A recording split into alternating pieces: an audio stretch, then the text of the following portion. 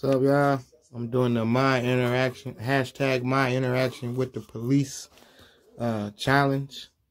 I guess um that my homeboy B Titty started in Cleveland. Shout out Cleveland, go Browns. But um yeah, I guess uh we're trying to get some people just talk about their experiences with the police, and I got a bunch. I got a bunch. Um, first of all, I want to shout out the good apples. They say you know it's a few bad apples in the bunch. Well it's a bunch of bad motherfucking apples. But my cousin Ricky, uh, Bo at Hilarities, um, I forget the tall cop, tall dude, man. He gave me his card. Him, other short dude. Fuck. Then it was like three or four cops out here. I got put over with weed and shit like that. Told them I was a comedian. They let me go. So that's like seven, eight good apples. Shout out to those good apples. And other than that, um, shit.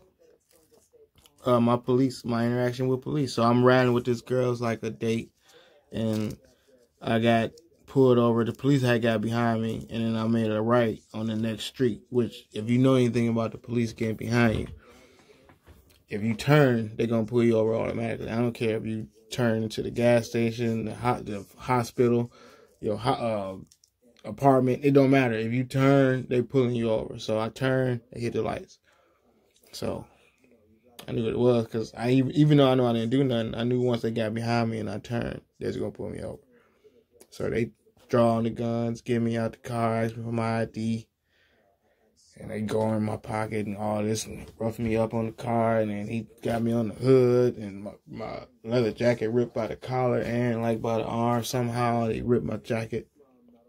They dogging me, and I'm in the blue Cutlass Ciera. I never forget.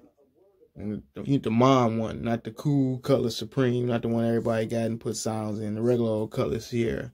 So I got that, and they like, uh, you know, where you been, where you coming from? I'm like, I'm coming from where I don't know the movies, where he's coming from with this girl, and they like you was in a robbery. I'm like, I ain't no robbery. I ain't what? I'm on a date. So then that's when uh he get the little thing on his like uh all this shit. He like, oh. And then come to find out they're looking for a Cutlass Supreme. I guess Ciera and Supreme both make the same sounds when you say them out loud, but that's two completely different cars. So, no apologies, nothing like that. No, my bad. No, trade my collar back out. Just, just as quick as they was on my ass, they was gone and that was that. And my jacket stayed ripped. Thanks, police. Five hundred dollars leather jacket that I talked him down to three fifty out the dope, but that's that ain't got nothing to do with it. Anyway, stay safe. Treat everybody how you want to be treated.